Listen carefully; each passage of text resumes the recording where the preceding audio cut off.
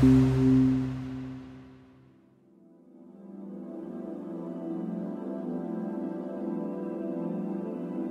it ever happened to you that you're trying to write an email and you're trying to be sarcastic and it just comes awfully bad?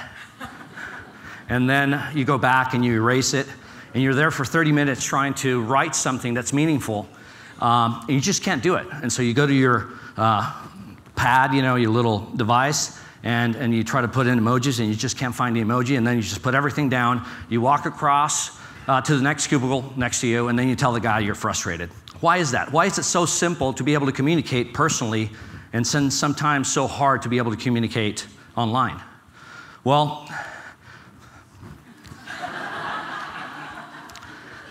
I think that in today's world with globalization, the promise of globalization has not been met.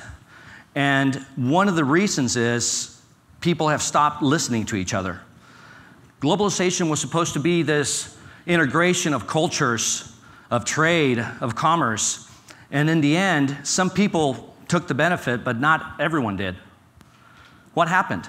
I'll tell you a story. The other day, I'm uh, babysitting my kids and we have one iPad, and so my wife is uh, out of the house, and I'm thinking, wow, this is great. I'm going to get to watch some TV by myself. And, uh, and so I give the kids their iPad and I say, hey, go off and, and don't bother me for an hour. and so uh, I'm there watching, uh, you know, my thing on TV, and all of a sudden my kids come back and they're fighting over the iPad. And I'm like, oh, this is horrible. And they keep fighting, and I can't get them to sort of come together and agree on what they're going to do with the iPad because we only have one iPad. And so at that moment, I have about a great idea. I say, you know what? I'm going to buy him another iPad. And so when my wife comes home, you know, I, am going to share this great idea with her. And, you know, the smart woman that she is, she says, why do you want to do that? I say, what do you mean? I mean, that way I can watch TV so they can go on their. and, and so, uh, she says, Yes, but if you do that, they're not going to learn to collaborate. So I'm thinking, wow, she's really wise. Um, and so obviously we never got to buy the iPad. Um, I think these trends, you know, if you look at the different trends that are happening around us in the world, um, you know, are, are pulling away at the center. They're not bringing us together, but they're really keeping us sort of isolated in our own bubbles. And so I'm going to go through a few examples of that. You know, the connected and isolation. You know, we talk about the iPad, we talk about these things where we sit down and we're constantly on the thing and we're all there and we can all text each other, but is there any real interaction? And that's the biggest problem in today's world. We can't go to someone and say, hey, I believe in you through an iPad, right? We can't go around and say, hey, we're going to solve this problem. I'll send you the answer by text, right? We're isolated in our iPads, in our devices, and then there's a thing called confirmation bias. And confirmation bias is when you totally believe you're correct and everyone else is bad. And, and you have this uh, set of information that you're being fed by Google, Facebook, Twitter, where you follow the things that you really like, right? Because, you know, if I like Fox News, I'll follow Fox News till the end of the day, and then I say, oh, look at that guy that follows CNN, he must be crazy.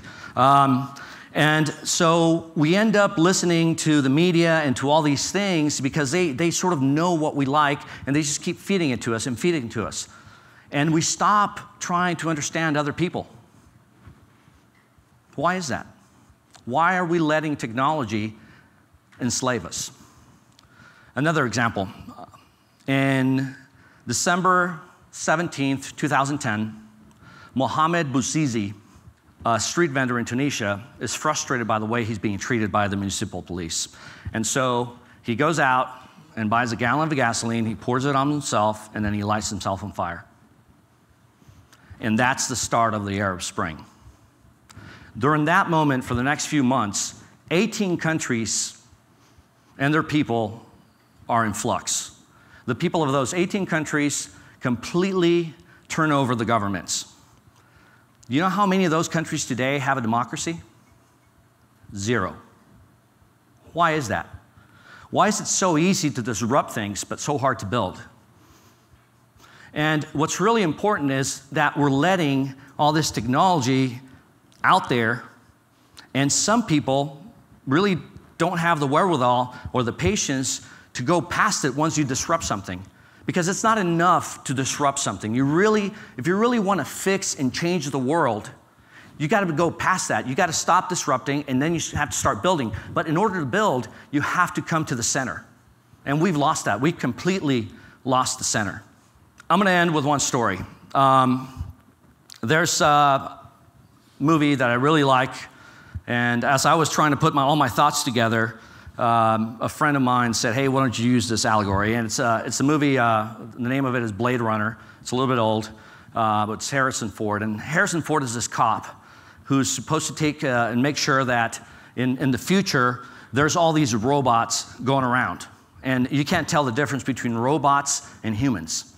And it so happens that they send all the robots away everywhere uh, to do all the menial work because, you know, technology is so advanced that people just don't have to work. So it's sort of like a dystopian society where people just hang out and, and get sedated and, and they're miserably uh, alone uh, doing nothing. And once in a while, some of these robots that are out around in the universe, uh, they come back to Earth and so Harrison Ford is supposed to go out there and make sure that he kills those robots. And so four robots come back, and he's tasked with going after them. And at the end of the movie, you know, when he finally gets to one of the robots, the main, the main bad guy, the robot ends up being more human than us humans. And I think it's a really interesting story to what we're living today. With the advances that are coming in artificial intelligence and automation, we're going to have more free time now than we've ever had in the history of the world. What are we going to do with that time? Are we going to let technology rule us? Or are we going to use that technology to become more human? To be able to share, to be able to express our feelings and our emotions, because at the end of the day, that's the only thing that separates us from the machines. Thank you.